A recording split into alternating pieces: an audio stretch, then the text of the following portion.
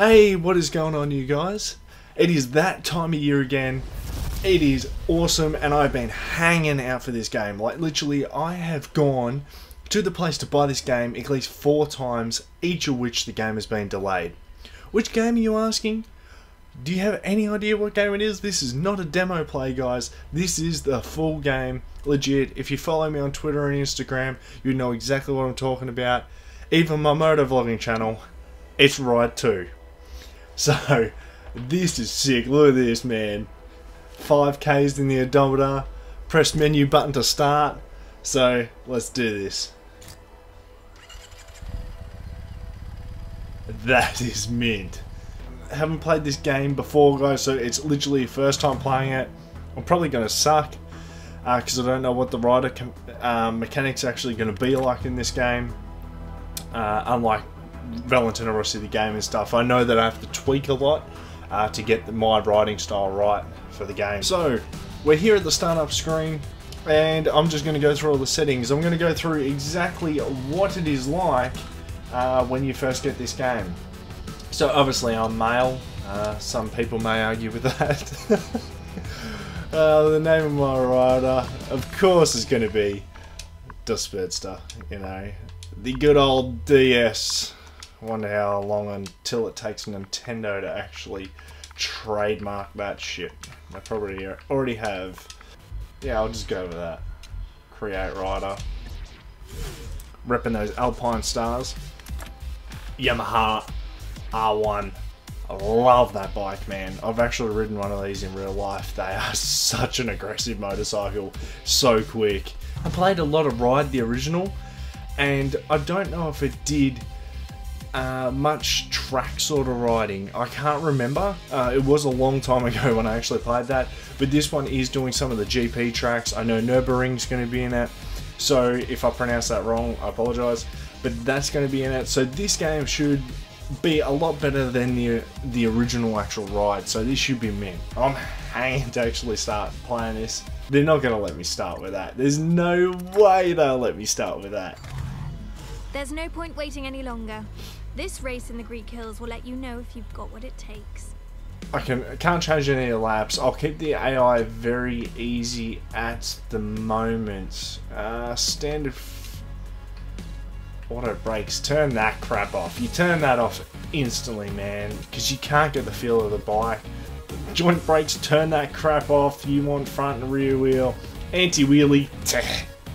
Wimp. Um, we'll have it manual uh, full trajectory, uh, semi-automatic, which doesn't really matter, and we'll have um, rewind on, because I guess I'm going to need that. Man, they are letting me start with an R1, holy shit. I was not expecting that. Lego, let's do this. Me, repping my Alpinestars, look a little bit like riding with Tom. At least it sounds like an actual Yamaha. Go up the inside here. Come on. Come on, tilt through those. Whoa, man. Oh, man, man, man, man. Elbow down, knee down. Marc Marquez style. It is a lot like the R1 in real life because it's got a really long first gear. Really long first gear. And the anti-wheelie is definitely off because this thing wants to just pump up that front wheel, man. All she's doing is pumping that front wheel up. Throw it into the corner. Come on, come on. Hard on the front brake, hard on the front brake. Don't let the front wash out. Put it through, put it through. Up the inside, up the inside. Ooh, hard on the brakes. Man, this bike is very forgiving. You ride this in real life, man, you wouldn't be able to do what I'm doing. Uh, as aggressive as what I'm doing. I am slamming this thing into corners not only slamming it into corners, but I'm really heavy on the brakes and almost taking my arm out on the wall. Oh, come on. I've got to turn this music off, man. So lean it through the corner. That's better. All I can hear is the bike. That's all I want to hear. I don't care about some Tekken sort of music playing in the background. Man, this is a nice track on the front brake. I haven't even touched the rear brake. Well, it's got an oil can there. I think I just skipped a gear. Ran that really wide. That's shocking. I'm surprised no one's come up the inside of me. Anti-wheelie is definitely off, man. That front wheel up in the air. I wonder how many people are going to meme that. Ah, uh, come on. Wing through the corner. Let's apex it. Let's apex it. Now, the last time I actually played uh, motorbike motorbike game was um, Valentino Rossi the game, believe it or not. Now this bike is actually surprisingly really easy to handle. I'd have to change the handling. I'm getting like no feedback uh, whatsoever. Like it's really arcadey at the moment. I can change that and I just blipped it to fourth. Um, it's I've noticed the front end, you don't really get too much front end feel like. I'm rolling this thing into the corner and really hard on the brakes. And if you did that on Valentino Rossi, the game, you start washing out the front. And this is like a street circuit, so it's not even a real GP circuit, so you're lacking grip. Plus, you're actually running street tyres. There we are. Getting, getting a bit of the arse out. Getting the back of the bike, starting to step around A little bit of a throttle up and just start getting that getting that rear wheel spinning. Now I don't think they'll actually give me this bike. Last one you had to actually buy your bikes and then go in different races. A lot like um, Gran Turismo sort of thing for bikes. But this is made by, this game is actually made by Milestone and Milestone make the MotoGP games as well. So unless it's a quick shifter, I don't know how that works. I have to look into it. Uh, Milestone make all the MotoGP games as well. So this is just the street version of the Moto. Yeah, that's definitely gearing up by myself. I love that bike, man. I love that bike. A bike's soul reflects its rider's personality. Which bike are you? Is that a KTM Duke? That looks like a KTM Duke. It is a Duke. Then you got Husqvarna. You've got Scrambler. Don't know what one that is. Well, you got the Honda. What is it? CBR or NSR?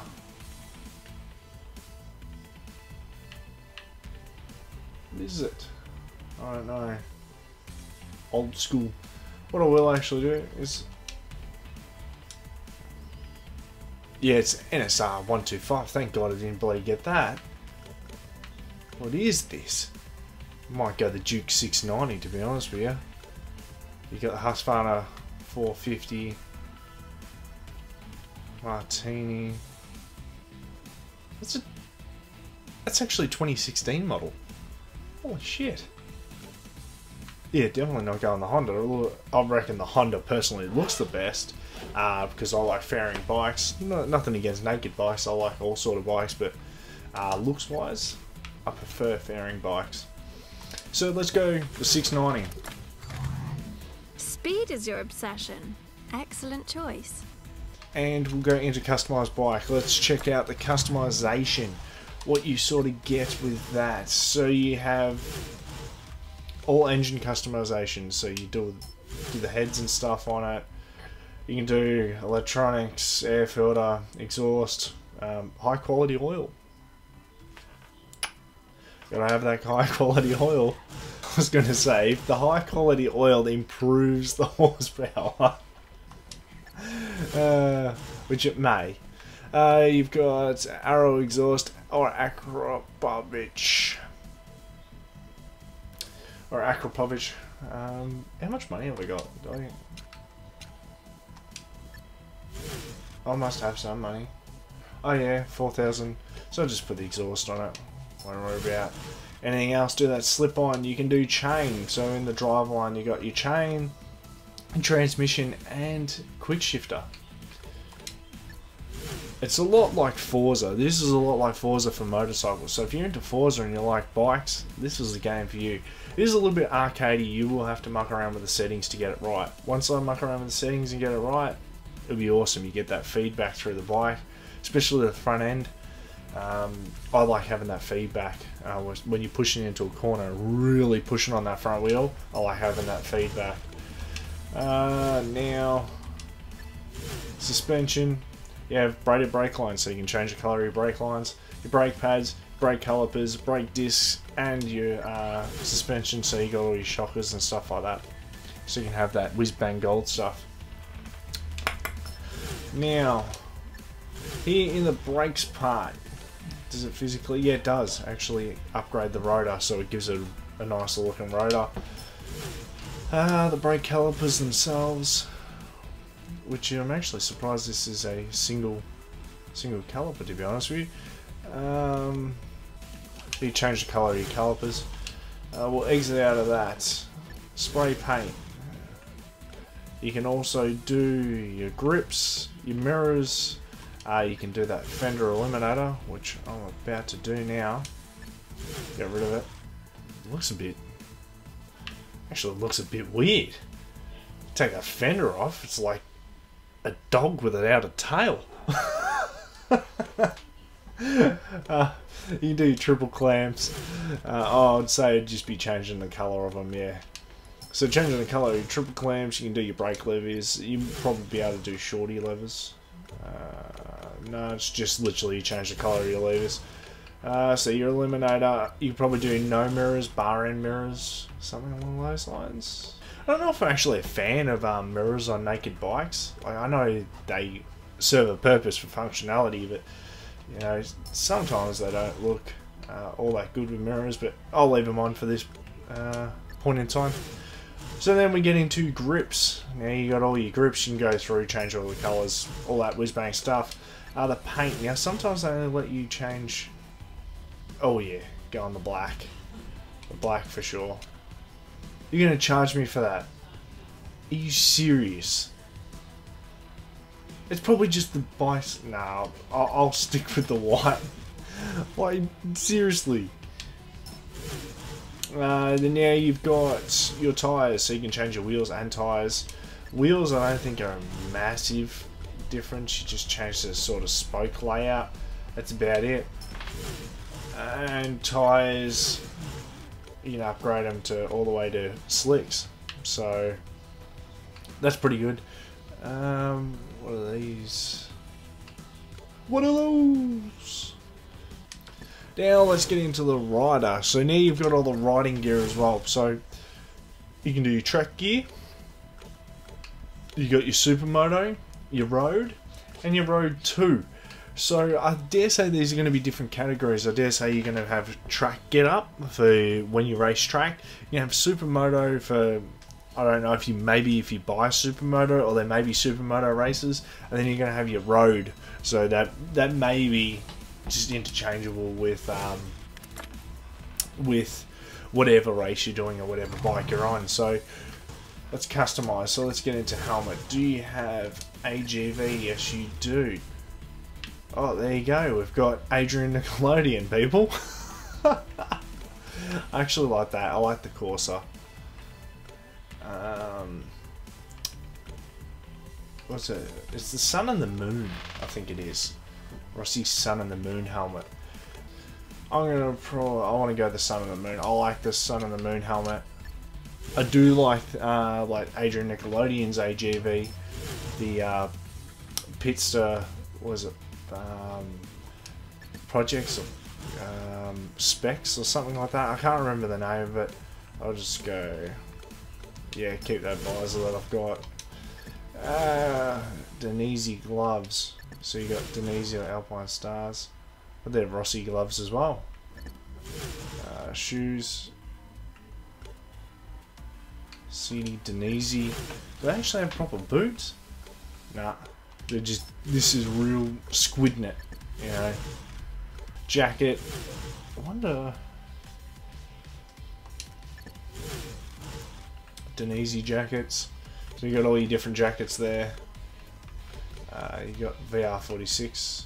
I think the reason why they got so much Valentino Rossi stuff uh, is because they contributed with the Valentino Rossi the game, so they'd have all that in their library. And livery whatever you want to call it. So they've, they've actually got the licenses to run all that sort of stuff. What I actually set before was auto tuck. I set that to manual. I actually thought it was the transmission, so that is why it was gearing up for me. So let's do a lap of the Nürburgring on my Duke 690 single cylinder with an Acra pipe on it because it gives it so much horsepower if you add that. what I will do is that. I'll up it to semi-pro and just see how the bike handles. Jesus Christ, man. It's auto drive at the moment. That's when auto drive ends right now and I just go straight into straight into the sticks. Actually, when the hell is auto drive to end?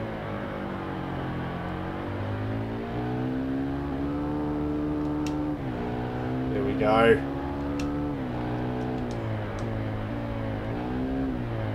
Lean it through.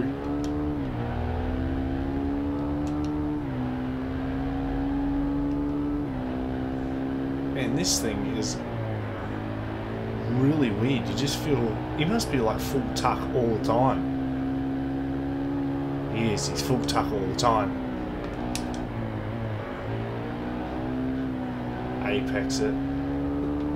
There's like no feed feedback whatsoever. The controller's not even vibrating. I've run off the track and it vibrated like the, the tiniest amount of vibration, man. Fling this over. Man, this is going to be one hell of a long lap.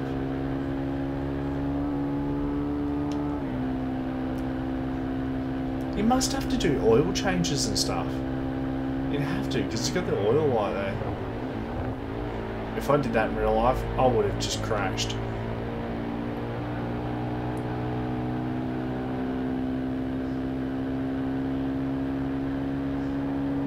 This is so drawn out. Man, normally on um, I actually race this on racing car games all the time. Love Nürburgring, especially when it twitches and, and moves over the hills. Be an awesome track to actually do in real life. Love to do it on a bike. I probably wouldn't break any record times or anything, I tell you. Because it's a pretty intense track. One of the best, one one of the most like beautiful tracks to look at.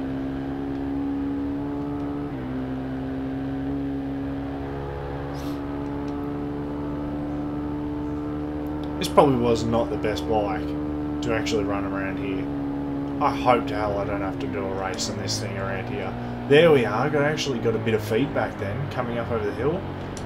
Just holding holding the front brakes.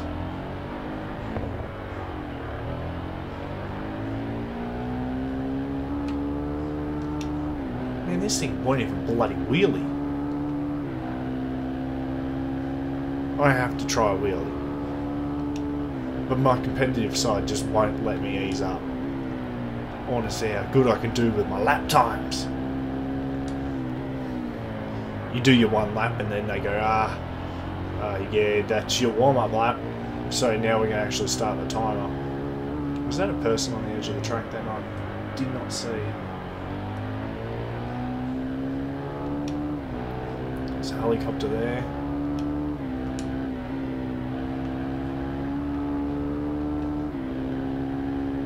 Through Apex it.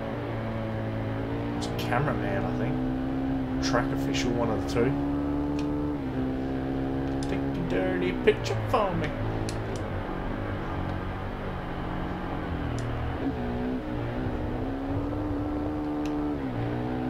Come on. Red line it, red line it. Past that power band.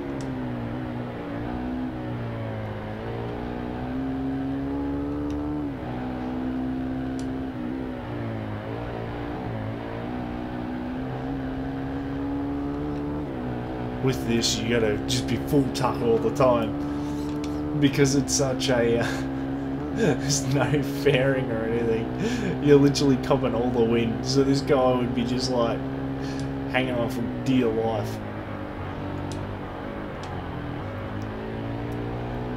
And as for the trajectory, or the ideal trajectory or whatever they call it, racing line, uh, most of the time I actually don't follow it. I'm not looking at it. What I'm actually looking at is the. Now that I'm talking and putting my, most of my attention to you guys, but what I actually look at is the white line on the side of the road because that's what you look at when you literally ride a bike. Uh, you you look at the white line and that's how you determine how to take corners. Which, if you ride bikes, you know exactly what I'm talking about. And then it gets more technical when you come into blind corners, things along those lines. But I won't get into that. Man, this is just getting drawn out. This, the straight at the end is going to be massively long. It's just going to take forever. It's going to take me 45 minutes just to get down the straight.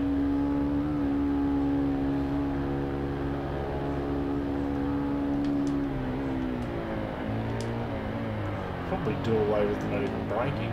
I need to redo this on like a super bike or an R1 or something.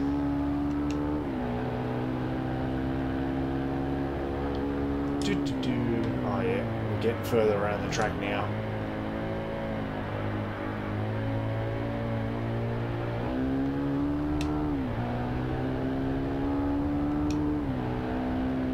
Come on.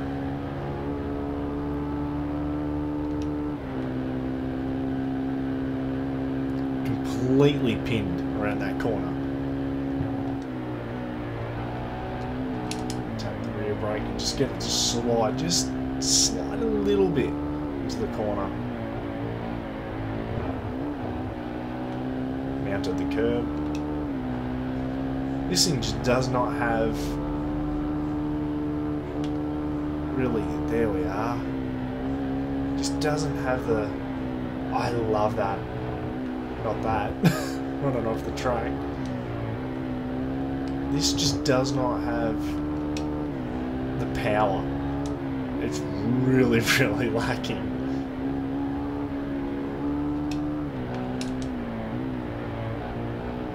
Like, you don't even get any twitching under braking or anything.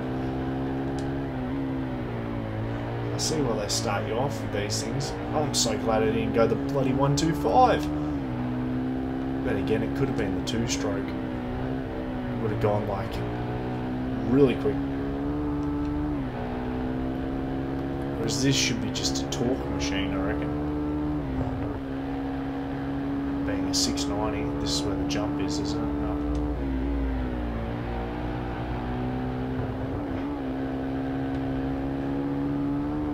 No. I love that, especially like in real life, the change of direction on the bike, it's so much fun if you come through a corner where it's a right-hander and then you lift it up, go to a um, left-hander. So awesome, just the feeling. If, if you don't ride bikes, man, you're looking at getting into it, yeah, it is dangerous. Like, I don't have to tell you that. But it is something that you will never, ever match. You know, just riding bikes is just so fun. It's so much fun. It's one of the best things you will ever do in your life. Coming through here. Damn, second gear. Let's pop a mono. Is it going to do it? It will not pop a mono, man.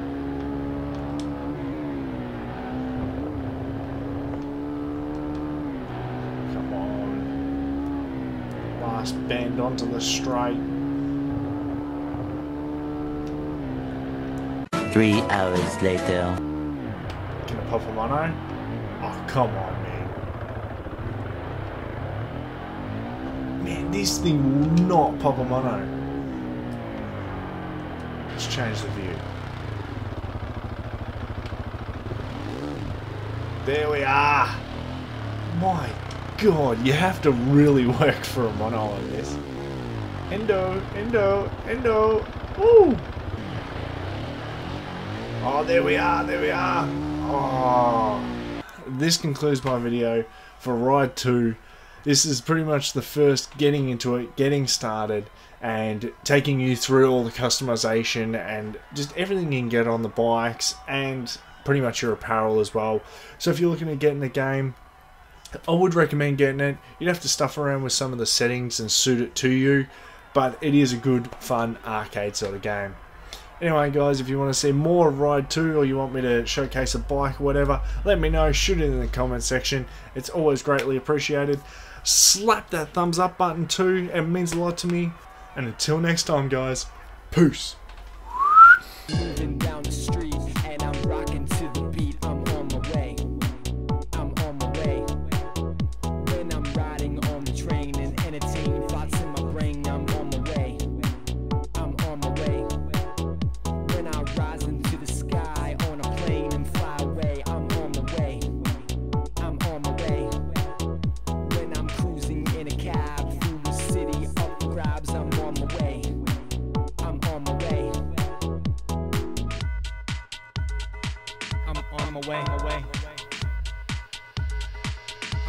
wing. We're going